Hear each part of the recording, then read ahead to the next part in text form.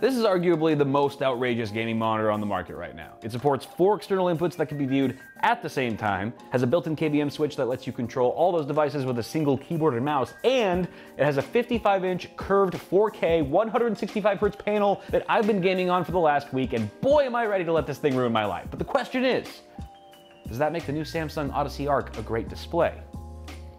It's a tough call, since this video is sponsored by Samsung making it impossible and unethical to provide an entirely impartial opinion. Nonetheless, I will delve into the monitor's capabilities and by the end of the video determine the target audience for this absolute unit. When the first gen Odyssey Ark debuted last year, some said it was overkill and impractical, while others saw it as a jumping off point with loads of potential. And technically, both sides are right, depending on who's sitting in front of the monitor. And as expected, Samsung has aligned with the latter mindset and given the second gen model some massive updates, like the new and improved multi-view. First gen owners, cover your ears, you're not gonna like this. The Odyssey Ark now supports up to four external inputs that can be displayed simultaneously, versus just one external input on the 2022 model. Quite frankly, the multitasking potential here is a bit overwhelming for me. I can hardly blink with both eyes at the same time let alone handle four devices at once. But that didn't stop me from trying. Being a bit of a computer guy myself, I connected the Odyssey Ark to a gaming PC, a streaming PC to stream my gameplay to YouTube, a laptop for video streaming, and an Xbox, just in case my imaginary friend got bored. The end result was insane. I, I, felt like I was mission control or something. It's just crazy being able to view and have quick access to literally everything from one screen. Without a doubt, this is the most efficient way to let people watch me suck at video games. Obviously, this is a pretty niche scenario, but when you're talking about four inputs, the workflow possibilities here are, endless. There's not really a mainstream one-size-fits-all example of how to use this very powerful feature. Although one use case I thought of was for editing. Like you could use multi-view to create a streamlined setup with dedicated PCs for video editing and rendering due to just how crippling video renders can be on a single system workflow. That would be a dream setup for some content creators. This example is also a reminder that it's not always optimal for every screen to be the same size. So it's pretty nice that you can easily adjust the screen sizes to really amplify and narrow down your focus. You can move and reposition the screens however you like, or enable picture in picture, picture by picture to suit your needs. It did take me a while to play around with and find the perfect multi-view layouts that worked best for me. So thank God the monitor's UI actually lets you save your layouts as presets, so you don't have to reconfigure them every single time, that would suck let's talk about the included One Connect box. It's basically a hub that reduces my anxiety levels. All external inputs, the PCs, the consoles, whatever you're connecting to this thing, they all connect directly to this box, which then routes to the monitor over a single cable. It's a proprietary Samsung cable, yeah, yeah, it's not great, but it is well built, I will give it that. It's got a secure connection at least, and it does keep you clear of a cable management nightmare, whether the Odyssey Ark sits on your desk or wall if you intend to use the included 200 by 200 base mounts. Lots of good I.O. on the box, including two HDMI 2.1 ports and a DisplayPort 1.4 port, all of which can output a PC signal at the display's full 4K resolution at 165 Hz.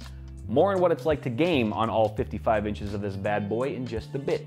DisplayPort is a welcome addition over last year's model because it's just a powerful, high bandwidth, PC friendly plug that's not typically found on TVs or such large format displays like this one.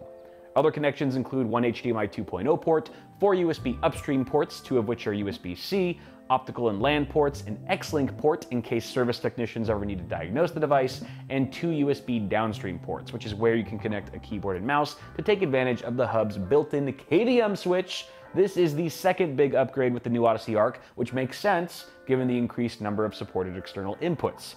And setting up the KVM switch was a little tedious at first because you have to go to Samsung's website to download an app called Easy Setting Box, and then you got to install that to each computer that you want to switch between.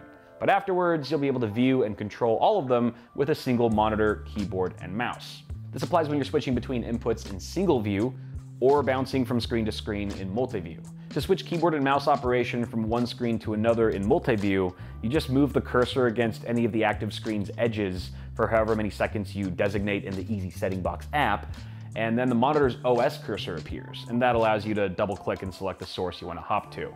It definitely beats needing four sets of peripherals at your desk. That being said, there is a hint of lag when switching sources in multi-view that can feel a bit sluggish, particularly if you're needing to move between screens often.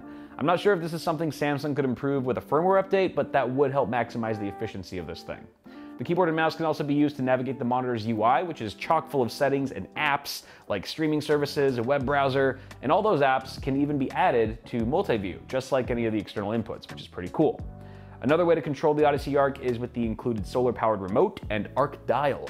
Between the two, you can do things like manage your multi-view inputs, execute voice commands to Bixby or Amazon Alexa, or use the Flex Move Screen feature that lets you do some pretty cool things, like change the screen size to a more modest 27 inches, you can move the screen position and even adjust the aspect ratio. You can go ultra wide 21 by 9 or even 32 by 9. I think Samsung realizes that you don't need all of this screen all the time, so they've kind of added a lot of options and flexibility to make the Beast more palatable as a daily driver.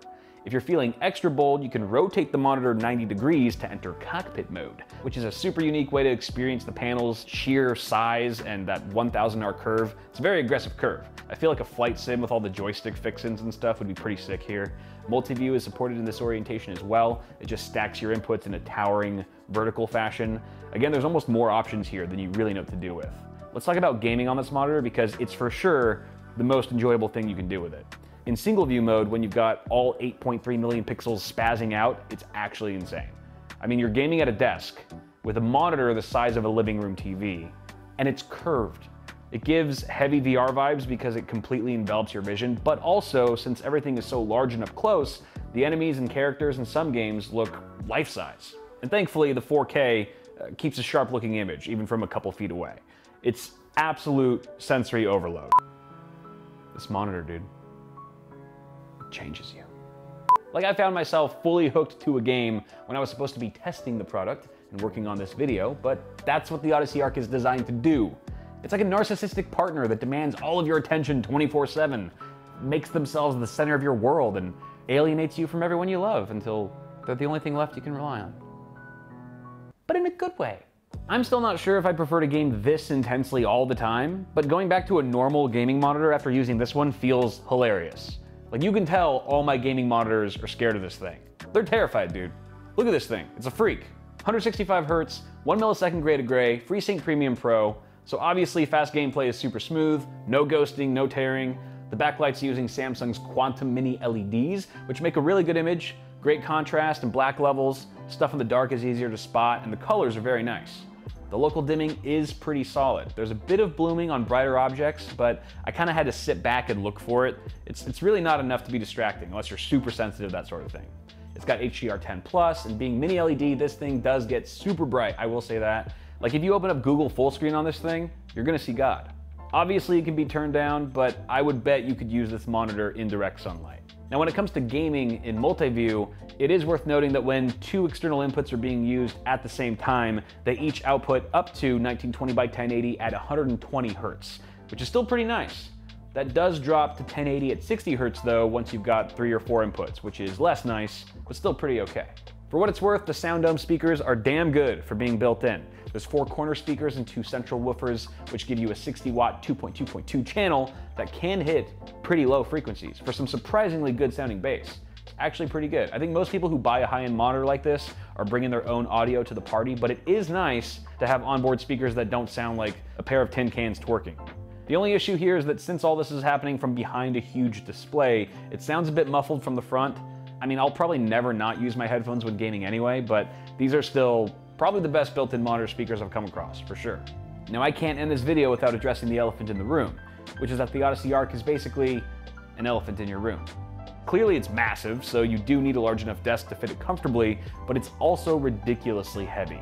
With the stand, it weighs nearly 100 pounds, that's not an exaggeration, and roughly half of that weight is from the stand alone. I unboxed this thing and set it up by myself, which is not a good idea. I strongly advise against that.